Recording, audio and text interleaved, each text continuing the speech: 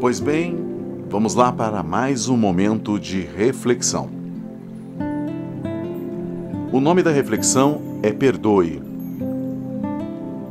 O marido chegou para o pai e disse: Pai, não aguento mais a minha esposa. Quero matá-la. Mas tenho medo que descubram. O senhor pode me ajudar? O pai respondeu: Posso sim, mas tem um porém. Você vai ter que fazer as pazes com ela para que ninguém desconfie que foi você quando ela morrer. Vai ter que cuidar muito bem dela, ser gentil, agradecido, paciente, carinhoso, menos egoísta, retribuir sempre e escutar mais. Tá vendo? Este pozinho aqui?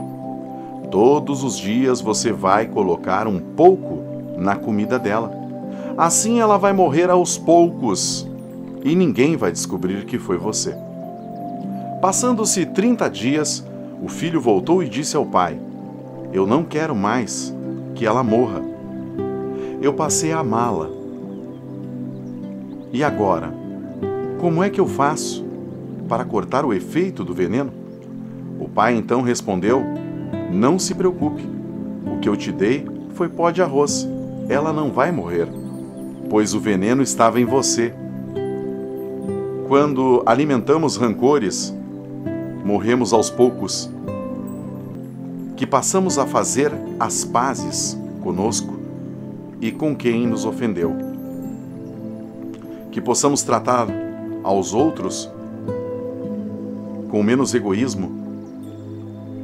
Que possamos ter iniciativa de amar e de dar e doar, de servir de presentear.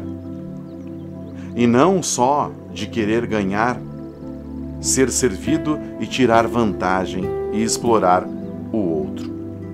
Que o amor de Deus nos alce todos os dias, pois não sabemos se teremos tempos de nos purificar com este antídoto chamado perdão.